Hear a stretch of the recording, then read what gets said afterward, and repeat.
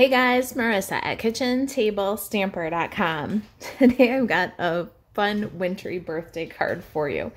We're playing Connect 4 in the Kitchen Table Stamper Craft Social, and I have a card that I started for one of the Coffee and a Mystery card games in the Craft Social. If you're not a member of the Craft Social, what are you waiting for? Get over there and join us. We have so much fun. So this is a two for one card.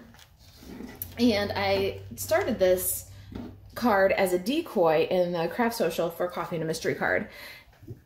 Today we're playing Connect 4 Christmas edition. So you can make any um, treat or card that you want to by using the Connect 4 board as inspiration. So four corners, postage stamp, diagonal, um, horizontal, vertical. Connect four in any way that you want and make a project. So I connected, because crafty girls do what they want, I connected Sweet Sorbet. I used the Sweet Sorbet Fine Sparkle Gems. These are on sale right now while supplies last for $3. They are so gorgeous. Look at these fine sparkle gems. The colors are amazing. They're going to do so much more than holiday. I just look at them and think birthday, which is um, one of the Connect 4 that I did here. Make a wintry birthday card. So this is my birthday card. Use stripes. I got a striped scarf and then I did a stripe technique on my border here. And then my forest animal. I don't know if a Yeti is a forest animal. I guess more of a Bigfoot is a forest animal. But, you know, crafty girls do what they want. That's what we say around the craft social anyway. So we're going to do this two for one card. This is also going to be my daughter's birthday card. So we're going to make winter wishes and birthday hugs. And then inside it says, get Yeti to party, it's your birthday. So that's our card. And it's a two for one. So what you'll need is a piece of designer series paper that is three and a half by four. And what you're gonna do is you're gonna measure down from one corner to four and a quarter, see? You're gonna measure down from the opposite side, top corner, down two and a quarter inches. And then you're going to connect those and cut. Then flip and you've got two pieces of designer series paper that you can use to make your cards. So the two for one card is a lot of fun for when you have a little bit of time to craft, but you don't know exactly where you want to start, or you're having a little creative block, you can grab your three and a half by four inch paper and divide it into two pieces. So what you've done then is, you know, cut the designer series paper. And once you cut the designer series paper, then it's just, you know, you, you, you got the ball rolling. You kind of, um, you know, got gotten started. Once you've cut it, you kind of feel a little obligated if you're a paper crafter to make something prettier out of it because you cut it, right? So we just marked down one and a quarter on the left side. We marked down two and a quarter on the right side. We're gonna grab the Stampin' Trimmer and put this so that each mark is on the track. And then we'll cut. All right, so we've got two pieces of this Nordic pattern designer series paper now. We're gonna make two cards. So I've got Balmy Blue for my card base. These are uh, hot dog card bases. So they're four and a quarter by 11, scored at five and a half. We got two of those. And then we've got a couple of panels. So the front panel is Balmy Blue and it is four by five and a quarter. We've got one for each card and we're going to emboss that with the Whimsical Woodland embossing folder. You guys, I don't know what happened here and why this one is on um, While Supplies Last and the last chance list for four bucks, but you got to check out this folder. I think that you're gonna love it. I think it just flew under people's radar. It's really an amazing uh, folder. It's got these trees and it's a 3D folder. It just gives a really cool impression and it's let's face it, like the embossing folders, and I don't need any more flower embossing folders. I don't, the, the same things kind of come around again and again. And when I saw this folder, I said, now that's something I haven't seen before. It's cute. It gives a beautiful impression. It's, um, you know, kind of whimsical. It's unique. It's something that I haven't had three times in the last five years. You know what I'm saying? So I'm not sure why it seemed like it didn't sell very well for it to be on clearance for $4 right now, but it was worth every penny at $10 for $4. Pick this one up. Grab the um, the sparkle too, the fine um, the fine sparkle gems too while you're at it. All right, so there's our embossed bases. Well, all right, then we need some uh, crumb cake cardstock, about a half an inch, and we're going to make a trim piece that's going to bridge the designer series paper to that embossed panel. Let's get that. And our Simply Score tool. All right, so we're going to go from about an inch and we're gonna score at every eighth of an inch. And this is gonna give us our stripes for our Connect 4 and a really cool pattern. We need to go across the four and a quarter inch card, but we're going across diagonally. So you can um, go maybe five and a half inches. So if you start at one and you end at six and a half, you should have enough of this kind of textured stripe. It looks almost like a gentle corrugation, which is pretty cool. And we'll do both strips because we got a two for one card.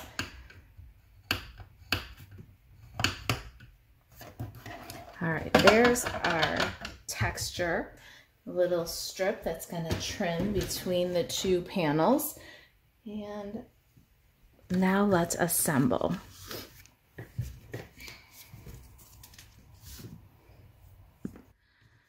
I've got some liquid glue and I'm going to adhere my two for one designer series paper panels. Now the fun part is if you've watched Kitchen Table Stamper at all. In the past, you've seen this two for one card and you can do, if you've got two patterns, a front and a back side that you love, you can do the front side and the back side. You could do them so that they're this way and use both sides.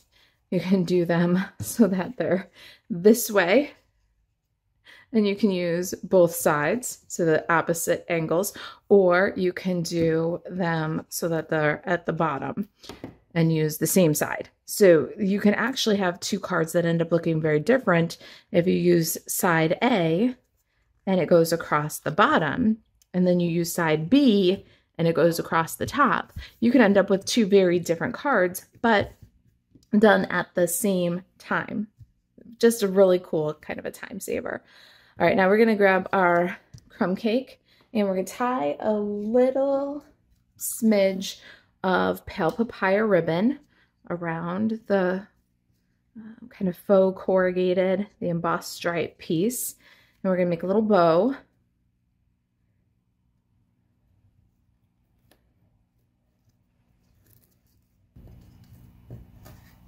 And then once you've got your little bow, we're going to add some liquid glue. So what you want to do is go a segment of the strip, not too far. And we're going to line up so the bow is about 3 eighths of an inch from the edge of the paper. And you want to leave that top edge a little bit loose here. So kind of put your glue along the bottom edge because we're going to tuck the little mountains behind. The little mountains are going to kind of grow out of our trim. Let's do that for the other card.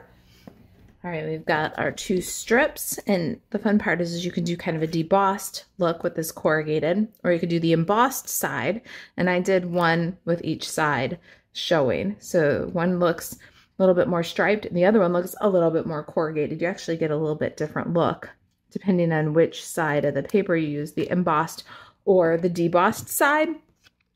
So um, the the possibilities there are kind of cool. You can do these little trims in different colors, use the embossed or the debossed side, or do a whole layer or a mat with that technique. Now we can adhere these to our card fronts.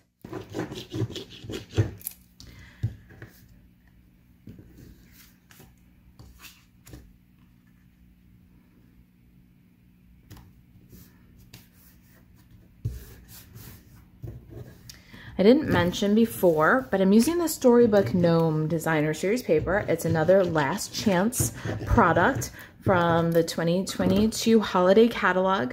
Now's the time to take a look at that holiday catalog and see if there is um, some things left on your list. Or maybe I'm sparking some interest in some new things that you haven't quite um, had on your list, but you're finding a new appreciation for, especially with the prices as low as they are.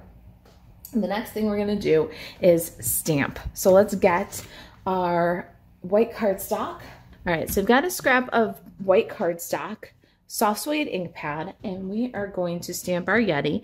The best way to get this guy a good image is to lay him face up on the table and bring your ink pad to gently ink him.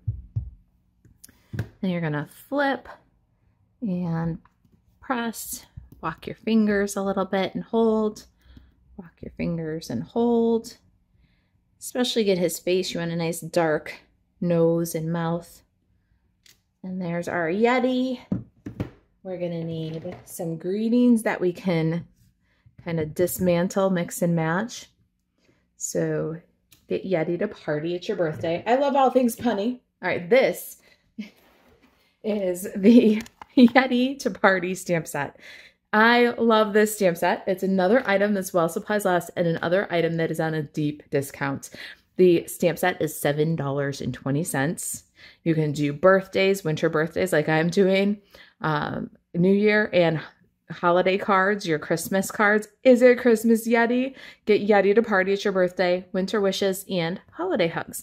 Now you'll notice it says holiday hugs, but I needed a wintry birthday card for Connect 4, and because today's Desi's birthday, so we are gonna do a little Franken greeting. All right, so that's Yeti to party.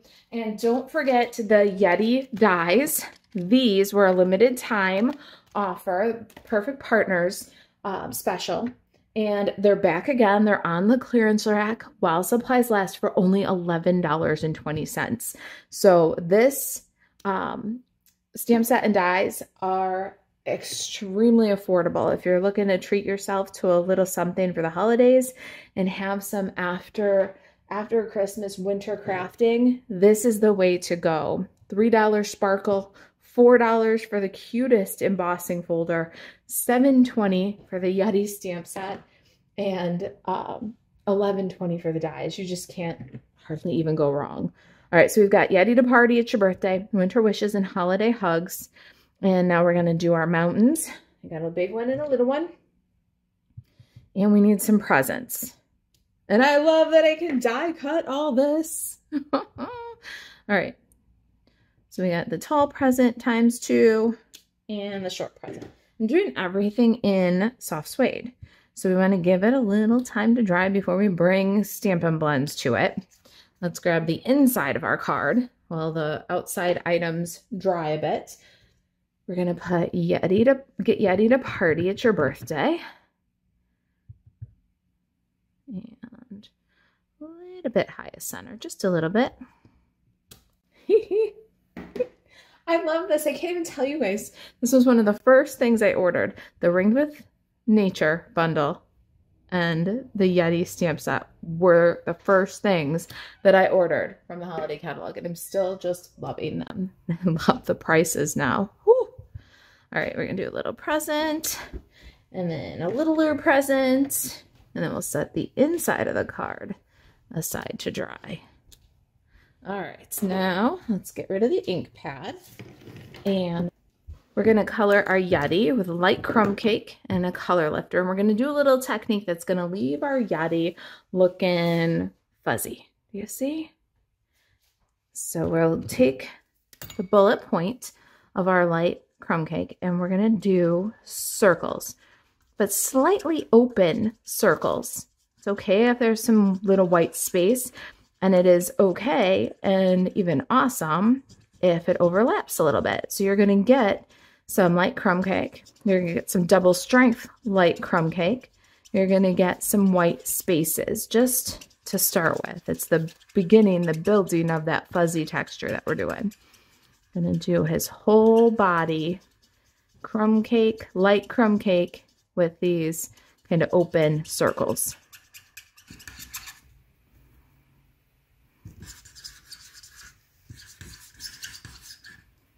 All right, now we've got our open and double strength little texture going on here, but what we're gonna do next is take the color lifter and do kind of similar. We're gonna do open circles with the bullet point.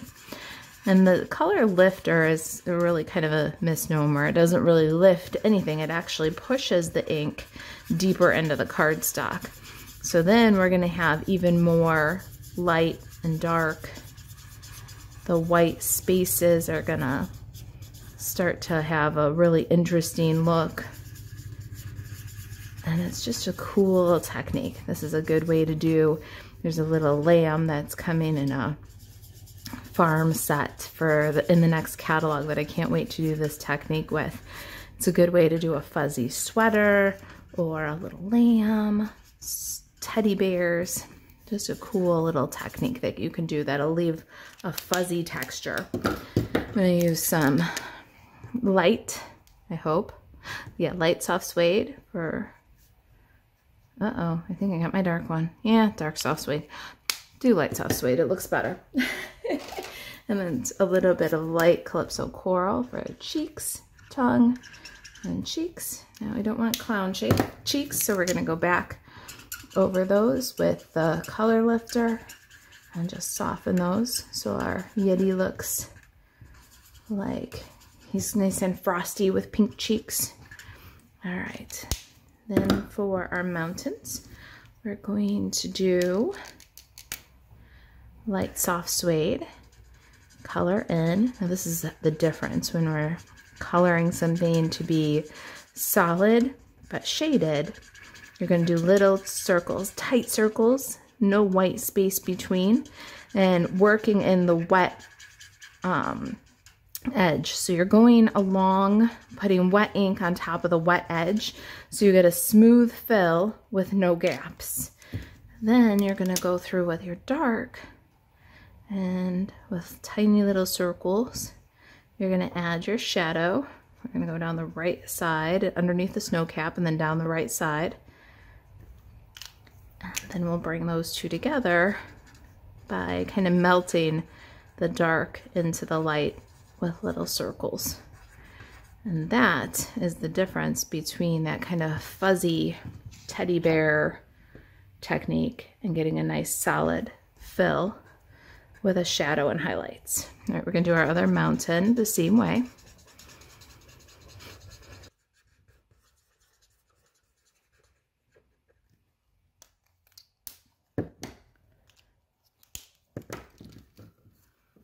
Now the snow caps on our mountains are going to have a shadow down that same right side. Keep it consistent.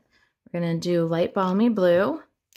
And then we're going to soften and kind of melt that balmy blue back into the white using the color lifter. And now we got a little snow-topped mountain. And it doesn't look like we forgot to color the snow. It looks like it's snow-topped. There's our mountains. Let's do our presents. I did my presents and my banners all with the same colors. I've got dark pale papaya, light calypso coral, dark balmy blue, and dark mint macaron.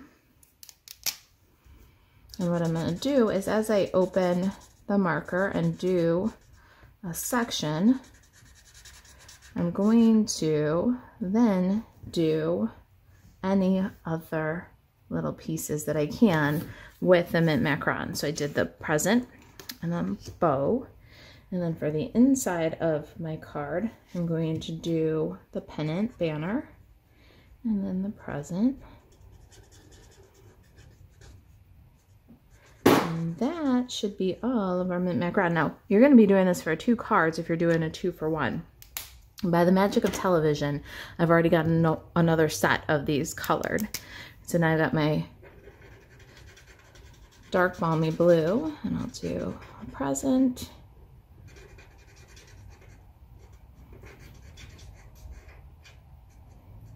And a pennant in my banner.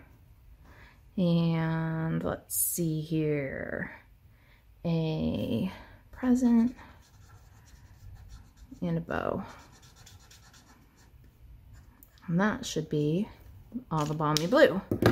Now let's go with Calypso Coral. We'll do a bow and a pennant in the banner.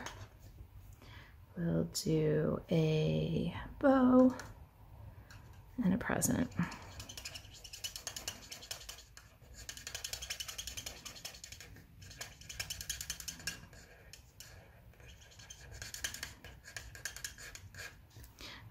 All that's left should be dark pale papaya. We'll do a present.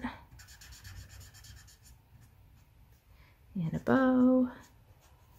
And a bow. And a pennant. And our banner. All right, there's our color. Let's get the Stampin' Cut and Emboss machine and we'll die cut these. But before we do that, let's go ahead and glue the inside to our card. Little liquid glue and glue it center. You want to do that for both your cards. It's two for one. Even if you're doing um, slightly different each time, that's okay. You can do that. All right, let's slide that to the side. We're going to cut off our greetings because we're going to, whew, I almost used the ribbon scissors. I would have to be fired. Greetings get cut off because they get fussy cut. And then we're gonna cut these into a little bit more manageable pieces so that we can get as many on the Stampin' Cut and Emboss machine as we can at one time. The presents, we only have one of each size present, so it's gonna take two passes through the machine, but the nice part is, is we can get everything done with just those two passes by loading up the platform. So if you've got your annual catalog, you might have noticed that the Yeti stamp set does not have dies. The dies were a special offer for as part of the Perfect Partners. I think it was Perfect Partners promotion.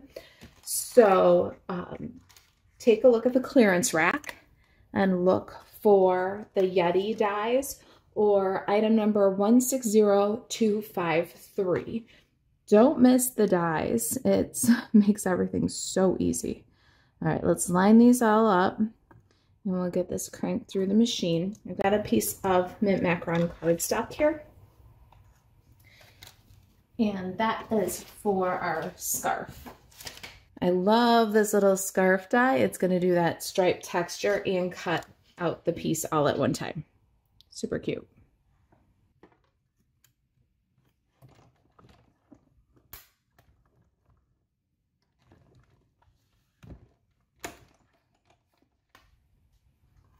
Isn't that cool? I love the embossed stripes. So that is stripes number two on my four used stripes. All right, we got to run these through to get our other little presents cut out. But I have to say, two passes through the Stampin' Cut and Emboss machine beats fussy cutting any day. And that's saying a lot because I like to fussy cut. Fussy cutting is my happy place. But this is really pretty painless here.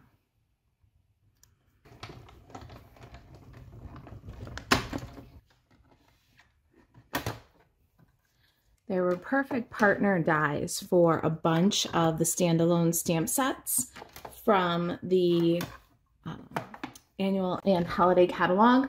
So check out the clearance rack for those dies. It might match a stamp set that you bought not knowing that there were dies for it. So we've got our Yeti and you'll have two of each. All right, let's go ahead and assemble him. We're gonna put his scarf on with liquid glue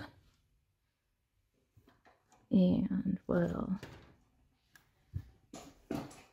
get some Stampin' Dimensional so we can add a little bit of level to his presents. I like to start with one right in the center of one of the big presents. We'll add that. And then from there, we'll take a couple more presents and put them on with liquid glue so that we've got levels of presents. It's going to be, it's going to be a really big birthday here. We're going to assemble two Yetis, put some dimensional on the back of the last present. He's going to drop one on his way to the party, but that's okay. He'll swoop back and get it. All right, there's our beds. Let's take care of our greeting next. All right, we're going to do a simple fussy cut, like a bubble cut for winter wishes and. But holiday hugs needs to be changed to birthday hugs because our Connect 4 was make a wintry birthday card and today is Desi's birthday. Did I tell you guys that? So this is going to be Desi's birthday card. And we're going to do a little Franken greeting here. So we got hugs. And there's nothing that Desi likes more than birthday hugs. You should ask her. All right, so there's hugs. So we got get Yeti to party. And we're going to just cut off birthday. Get rid of the rest. Now we're going to make this say birthday hug. So what we need to do is come up around the Y and we're going to fussy cut across the top. And then we're going to go down and around the B. And just little angle cut. So now we've got birthday with a little bit of space, a little bit of cardstock underneath. I'm going to add a touch of glue, just a little smidge. And then we're going to adhere hugs underneath birthday. Now we've got fussy cut birthday hugs. All right, I've got everybody fussy cut for the greeting. Let's add a little dimensional to the back. I like to make sure that my dimensional on that Franken sentiment where the happy and birthday join, I'm going to put a little piece of that dimensional so it holds those two together in kind of a second layer. And a little piercing gets a half of a mini. I'll bring our card back in here. Going to start laying out our scene. I'm going to do that big mountain and just kind of tuck the very edge of it underneath your trim. And then the little mountain is going to go over front to give some depth perspective to our scene. Then our Yeti all ready to party. Add a little liquid glue and pop him on. Make sure his arm doesn't go off the edge of the card. That's about where it is for placement. And leave just a little space under that horn because we're going to tuck a little heart. Here's our present.